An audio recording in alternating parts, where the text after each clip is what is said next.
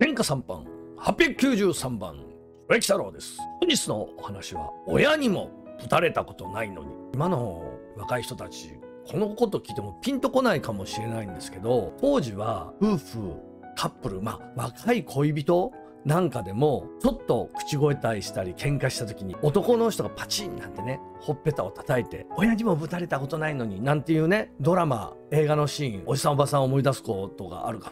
思い出された方があるかもしれませんが今そんなことしたら大変ですよね。もうそのまま捕まりますよね。まあそんなことをがあった時代念頭に置いて今からのお話を聞いていただくと分かりやすいのかなと思うんですがあのもう私がね中堅どころになった時かな。新しい若い衆たちが入ってくると。若い衆って言ってもこれ私の射程分なら話は違うんですけど他の組員他の幹部他の執行部例えば頭の若い衆本部長の若い衆とかっていうのが入ってくると直接私の射程ではないけどアニー分みたいまあ同じ組の内輪内輪なんだけどやっぱりその自分の直接の射程とそうじゃないかっていうのはやっぱりおのずと扱いが変わってくるわけですよね。でやっぱり新しい人間が入ってきていろいろこの教育っていうかいろいろ教えていくわけです。普通は見て覚えろとかいちいち聞くなみたいな傾向がある強い業界なんですけどね。ヤクザ組織も。うちはそうじゃなくて分からんことは聞いてこいと。下手打つ前に聞いてこいと。聞いてきたことは答えるからっていうようなどちらかというとそういう方針だったんで。まあこんなことはもうね頭も言いますし大根もね最強の頭も言ってますし狂った大根も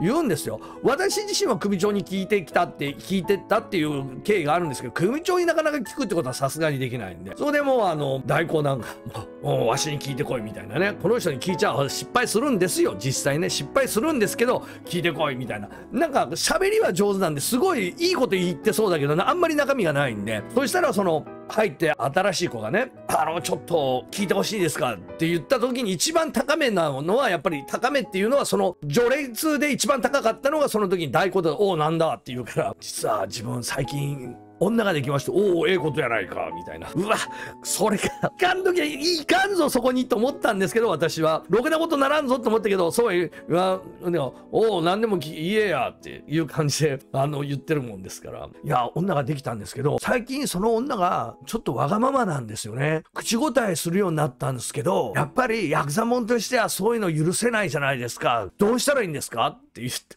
これ状況もわからんのに答えにくいなとは思ってんですけど、どういうね、向こうが本気でその思ってんのかわかんない状況で、お前そんなもんはな、あれだぞ、太郎に聞いてみろ、うちんとこのお前みたいにちゃんとうちはあの、女には教育しとる、しとしとるが、しとるよなって。でもこれ振りで言ってんのかとか思ったんでいやそうですね。大根のところの姉さん本当にしっかりされてますし大根も恥かくようなことないですもんね。ってそんなって自分も言うしかないじゃないですか。そんなもんはなって。お前になんだ？この山返しとんのか？っていやまあ山返すってお山返しとんと一緒じゃないか。お前そんなもんお前に山返すってことはうちの大門が舐められとんだぞ。って。もうちょっと飛躍しまあそんなこと言い出すからまあまあまあまあまあそんな時はなって。一発パシーンと殴ってパシーンってやってなそパッとなるからそしたらもう泣いて謝ってくるわ。って嘘だろって思って思ったんですけど。いやでもそれでもしあの出てっちゃったらどうするんですか？って。お前そんなもん出てくもんはお前。他ってお前それでいいんやないか。もうそんなもん締め出してお前別れりゃいいんだわ。って。わしはそうしとるんだ。でもこうやってついてきとるわってわしが懲役ともちゃんとお前支えてお前何やったってわしの言うことは聞くからなって言うからまあそうそうそうですわねってそうですわねってなあ太郎ってはいいや本当にもう姉さんも立派なあれもう本当あの見てみろともう自分も言わんでもいいのあの大根の前あの靴見てみろいつもピカピカで姉さんお前磨いてあのしてるんだぞってお前そんなお前お前の女俺も言わないにもよかったねお前の女そんなこといやしませんだろってもうそういうことだわって。言って分かりました。じゃあ注文そうします。いやこれえらいことになるぞ。えらいことになるぞ。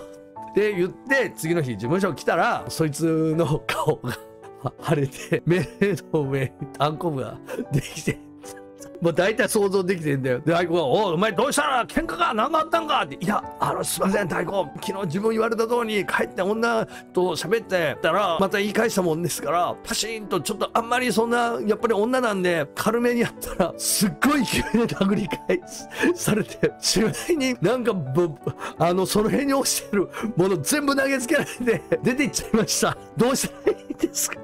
あなんか向こうの親まで出てきて私に親にまで殴られたことないんで何何すんのって向こうの親も出てきてどういうことだと。あもう自分どうしたらいいんですか。うんそうか。それはそうなるよなって。でもう大悟が「ああそんなもんお前叩き出していいんだ。またいつでもあの女の子ができるから」って言って本人も。もうそこでも自分いやいいからいいから。いやちょっと待って待ってと、まあ、わかりました。大悟ちょっと自分あのいろいろあってそんな親が出てきて薩摩で行かれてもあれなんだよ。自分が話します。おおそうか。でまあまあ って言っていや大悟大悟があんなこと言うもんですから。いやわしもなああやって言わなしゃあないやろって。本当にでもあの姉さん靴を磨いてますもんねあれって。バカかお前。あれ帰ったら夜わしがお前行く前に綺麗に磨いた。あれお前お前たちが見とる前だけでやっとる。あのシューシューってあの簡単にスポンジでわしが磨いてた。お前らがおる時にはねやってるふりしとるだけなの。ほんでもなるわけねえじゃねえか。あそうっすか。すいません余計なこと言いまして。お前ええけど。言うなよあんなことって。あでも耳に入ったら殺されるぞわしが。ああいつも本当にあの殴られたぐらいで済んでよかったなって。あんなことお前止めなあかんのわしも言われりゃああやって言うしかないじゃないかって。あんまりなもうこれからなあの余計なことは聞くなってな。言うようにしとけお前から。そんなこと言ったって、自分はそうしたんじゃないんですかって言いかけて、そうっすよね、やっぱり、ね。そんなもう、あの、中のことまで言えんですもんね。まあ、あ、れですわ、本当に、そういうふうにしとかんと、はめられたみたいになっても、あいつどうなったんだいや、だけど女の方には未練、本人未練があるみたいなんで、ヤクザやめ、やめるんなら付き合うとか、そういうことみたいですよって。ほんで、どうするんだって。いや、やめるってもう、でも、もう時間の問題でしょあれ飛ぶでしょって。そうか。わしも余計なこと言わないよかったな。そんなもん、お前、兄貴に知らたら、わしが余計なこと言ったってなるお前黙っといてくれよって言って、いやいや、黙っときますけど、親父の耳には入らないようにしときますけど。今、あの、そんなこと言ったら、あの、また、大根謹慎ですもんね。つって、バカ野郎、お前余計なこと言うじゃねえよお前、そんな、お前、お前、わし、わしははめる気があって、お前かよ、そんなこと、お前、わしを裏はめるか。いや、そんなことないですけど、大根が言ったんですからね、あれ、あの、自分は大根を応援して言っただけの話で、やっぱり大根も余計なこと言わん方がいいっすよ。